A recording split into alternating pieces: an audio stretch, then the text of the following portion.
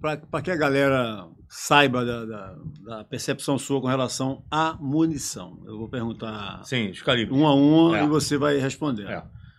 40. Qual seria, pra, na sua concepção, a melhor munição? Para a defesa? Sim, para defesa. Para defesa. Não utilize. É, é uma munição que ela tem um recuo pronunciado, uma recuperação pronunciada, né? É um 10 milímetros aliviado e realmente uma pessoa, um cidadão, né, que tem um treinamento mediano de tiro sob estresse, ele vai capar esse tiro. Ah. Independente. Agora, se você. Você pode até ter uma plataforma Glock, né? Porra, me dei bem, porque a Glock realmente é uma plataforma de excelência, uma HK USP. Mas para um cidadão mediano, hum. É, eu vou aconselhar 9mm, mas não ogival, com ponta de 124 gramas. Eu falaria para ele, irmão, pega uma bonded mais P a mais. A 40. 9. 9. 40 não tem como recomendar, irmão. Sim. A 40, a 40 é o seguinte: o que está acontecendo com a 40? Todas as fábricas e polícia do mundo estão saindo do 40. Estão metendo o pé. Para a fábrica não é bom. É. Sabe por quê? Estraga muita arma. O tempo de vida da arma, da arma diminui. É que nem o 762 51. O G3 banca, o FAL não. Mas tem a lenda, tem um mito. E se for 40 Glock? A Glock, ela, ela, ela banca melhor o calibre 40 sim. Ela vai bancar, você vai ter um recuo mais Porque controlado. é o que está sendo disponibilizado é. agora para né, Não, não. Mas aí que tá. Policial ou cidadão que ele treina de vez em quando, e ele tem uma plataforma Glock, ele pode utilizar a 40 sim, pode utilizar uma Hollow Point lá, hum. que tem uma rampa, tem um extrator. Qual é o problema de todas as Glocks? É o carregador. É o entalhe do carregador. No BOP nós pedimos de metal. Toda Glock, ela tem uma mola extremamente forte. Inseriu, fica fazendo força para baixo. Acontece muito com a 45 e com a 40. Se você pegar o carregador da Glock e olhar o entalhe de presilha dele, em cima está comido. É a mola, uma mola muito forte, que é de qualidade, pressionando para baixo. E aquele entalhe de presilha de carregador não é de metal. Lá no BOP nós pedimos veio mas é de plástico. Então é comum você ter uma Glock 45, uma Glock 21, você tá atirando com a Glock, o carregador cair. Por quê? A munição é extremamente pesada.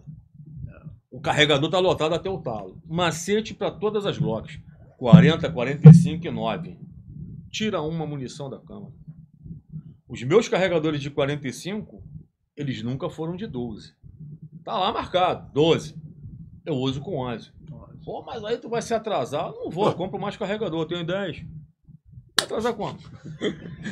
Só 10 só. É, é, é um cinto. Não, eu tô com 10, eu ando com 10. A coluna depois. A pode faltar um monte de coisa, menos munição, né? Coluna, foda Às vezes, é, às vezes falta, pô, pode faltar alguma coisa, uma cerveja, ou, a munição não vai faltar. Não tem como. A 9mm. A 9mm eu, eu aconselho, hoje é calibre restrito, eu, eu aconselho porque é o seguinte, você tem uma, dentro de uma regularidade, você tem um recuo extremamente controlado com várias plataformas de pistola, né? Até se você pegar uma Beretta 92, uma Tauro 92, pô, cara, tranquilo. Se você pegar uma CZ, uma Jericó e tal, beleza, é padrão Glock, né? né? Uma, uma sequência de tiro mais rápido e tal, para você incapacitar, tem que acontecer. Se você tem pontas expansivas, é, é, tipo a Bondage, que tem, eu falo sempre dela, que tem uma tecnologia acima da Expo, acima da, da Gold X. Gold X é excelente, por sinal, mas a Bondage está acima. Hum. Ela tem aquele núcleo colado lá, ela vai abrir que nem um guarda-chuva, ela vai aumentar realmente essa área de, de, de, de, hemorragia lá. E ela vai ser mais perfurante, porque geralmente a Bondant ela é mais P. Ela tem uma carga de pólvora a mais do 9mm. Hum. Então, com quatro disparos, camarada, tá incapacitado. A gente tem que entender também que o tiro é compreensão física. É a jaqueta. É, é o cara que tá drogado. É, tem uma série de fatores, verdade. O pó de anjo, o hum. pó de anjo, que hoje é a droga do macaco e tal, o pó de anjo já existia na década de 80. O cara parte pra Teve cima. um policial americano que ele deu. E ele vem. É. Ele deu 32 disparos de 357 Magnum no camarada, o camarada caiu pra dentro dele. Como é que você explica isso pro promotor? Pô, nunca vai. Foi filmado isso aí? Não, isso é um relato da polícia americana. Você pode convidar o promotor para um cafezinho, vai ser aceito. Você pode dizer, "Ó, desenrolar, não. 32 tiros, 357 Magnum, não. O senhor, tá de sacanagem. o senhor exagerou. Era o pó de anjo. Era o pó de macaco, que veio da Rússia agora também modificado.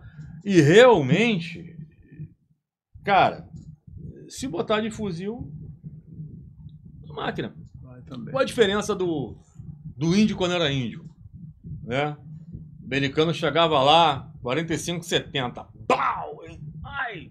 Machado, tacape.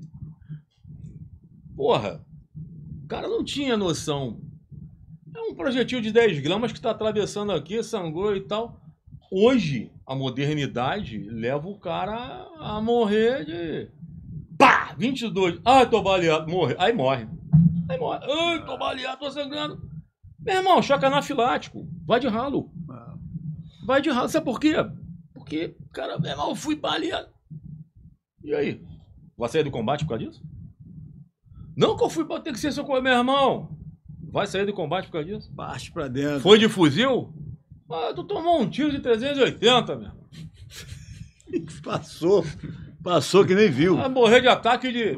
Pô, fala sério. O, Quando o cara não sabia o que que era, o psicofraco dele não estava ativado. Hoje, o camarada que é baleado, o psicofraco dele tá ativado, irmão. Ele vai tomar uma caroçada de qualquer coisa. Ih, ah, morreu, morreu o quê? Ataque de frescura. É. O que O que, que o médico legista vai fazer? Porra, ué, meu irmão, vai morrer com um calibre desse, nessa região aí? tá de Ah, brincadeira, né, choque mano? anafilático, meu irmão. O cara, parasimpático do cara e o simpático entraram em corpo e ele partiu. E é isso aí, irmão. 45. 45, eu não aconselho para defesa por causa do recuo e pela baixa capacidade de munição que as pistolas têm. Digamos, você não vai querer ser uma pessoa que ande com 10 carregadores de 45. Puta que pariu. Tua coluna vai embora. Sem contar... A gente não conhece ninguém que faça isso. É, é. Tem, é, tem algumas pessoas que têm problema. Aí o que acontece? 45 é excelente, né? Excelente. Mas na defesa residencial, que, que vai acontecer? A mesma coisa que a 40. A 45 ela tem um recuo pronunciado. Por quê? Tiro do Porque o projetil. Porque o projetil tem peso, irmão. Na Beck Mamba, menos. Mas se você chega lá e compra uma ponta de 45, 11,4 milímetros a azeitona, 230 gramas. Pô, meu irmão, primeiro disparo pro cara que tá para defender a família dele ali, que não tá treinado, porra, caraca, o segundo tiro ele Já vai pensar é, duas é, vezes pra dar. Não, é normal, é normal. O camarada que treina pouco. Tem até a polícia nessa situação também. E aí, você vê que o 9 é o equilíbrio. O que, que é o equilíbrio de tropa regular na Europa? Na Segunda Guerra Mundial. É 9 milímetros. 9 milímetros. O 9 milímetros, o, ca- o camarada. Claro que hoje você tem a tecnologia de ponta e de pólvora. Por isso que tá bacana. Treinou pouco, a maioria das plataformas vai se dar. É que nem um AK. O AK, você olha do lado assim, não tá nem desse lado, tá do outro. O regime de segurança. Um ponto é um tiro. Três pontos é a rajada. Um ponto com X é a trava. O cara não precisa saber ler. Aí chega o alemão, SF. Aí, meu irmão, aí complicou a guerra. Cara que pensa penemente e tá matando o jangal. Ele, tem- ele olha pro AK do outro lado, ele vem ali um ponto, um tiro, três pontos, rajada. Um ponto com X travou a arma. Pô, e é uma arma que banca lama, terra e areia. E é um 762 controlado por 39 de comprimento. É controlado. Entendeu? E vagabundo aqui utiliza essa munição de cansei de pegar em comunidade. 762 por 39, hollow point, ponta oca. Bate, fragmenta. Pega em você. Caralho. Você, você não consegue ficar na posição. Geralmente é cartucho cinza. Bateu, fragmentou, pegou, tu já, pô, meu irmão. Tu fica sustentando, mas daqui a pouco tu tem que sair. Vai começar a bater, vai começar a fragmentar, vai começar a pegar. É.